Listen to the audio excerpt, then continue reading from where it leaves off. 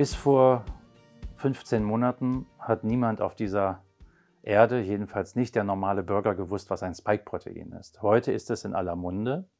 Das Spike-Protein ist ein Bestandteil eines Virus, welches auch verantwortlich ist für seine Pathogenität, also dass das Virus uns krank macht.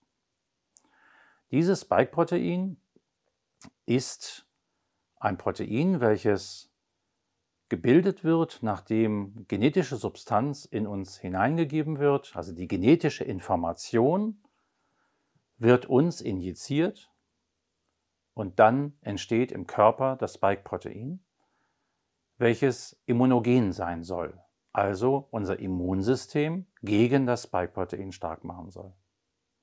Das ist die Idee, die seit etwa 15 Monaten verfolgt wird. Wir wissen aber heute auch, dass das Spike-Protein in unserem Organismus selbst toxisch wirkt, das heißt selbst giftig ist, sowohl bei der Infektion, also sowohl bei der natürlichen Infektion, aber auch wenn wir es künstlich dem Menschen zuführen, beziehungsweise es künstlich im Menschen produzieren lassen. Welche Auswirkungen das Spike-Protein hat, das sehen wir sowohl bei der Infektion, dass dort Lähmungen auftreten können, dass das Nervensystem angegriffen wird. Wir sehen es auch, wenn es in unserem Körper künstlich produziert wird. Auch dort greift es das Nervensystem an. Dieser Angriff erfolgt, das haben Wissenschaftler herausgefunden, über eine Vermeidung oder eine Bremsung von Aktionspotenzialen.